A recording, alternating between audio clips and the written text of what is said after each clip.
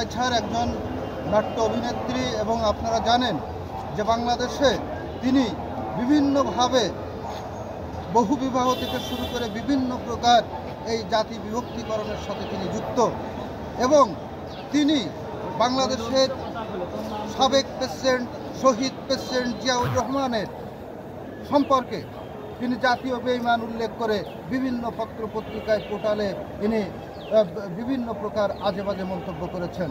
যেটা আজকে আমার আজকের যে মক্কেল রেজওয়ান কবির, তার দৃষ্টিগোচর হয়েছেন, তিনি মর্মাহত হয়েছেন।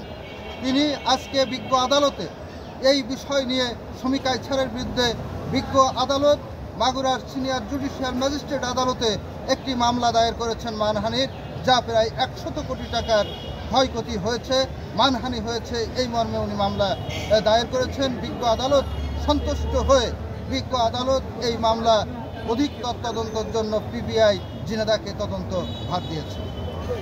এই সংক্রান্ত আজকে জনগণ সহ এই যে যে কথাবার্তা, এটা আমাদের সংযত হয়ে বলার জন্য বিজ্ঞ আদালত বলেছেন এবং তিনি অধিকতর তদন্ত দিয়েছেন।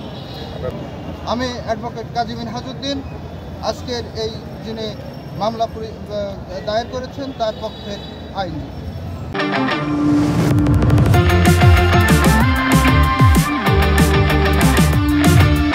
জন জাতীয়তাবাদী স্বেচ্ছাসেবক দল ঢাকা মহানগর।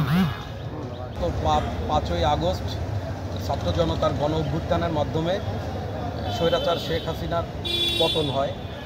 কিন্তু এখনও শেখ হাসিনার দোসররা আমাদের দেশে চড়ে বেড়াচ্ছে। আর এই তারই ধারাবাহিকতা এই শেখ হাসিনার দোসর শমী কায়সার, অভিনেত্রী শমী কায়সার, সে বিভিন্ন সময় আমরা বাংলাদেশ জাতীয়তাবাদী দলের আমাদের আবেগ, আমাদের আমাদের আবেগের জায়গা, যেখানে শহীদ প্রেসিডেন্ট জিয়াউর রহমান তাকে বিভিন্ন সময় জাতীয় বেইমান এবং বেইমান বলে উল্লেখ করেছেন।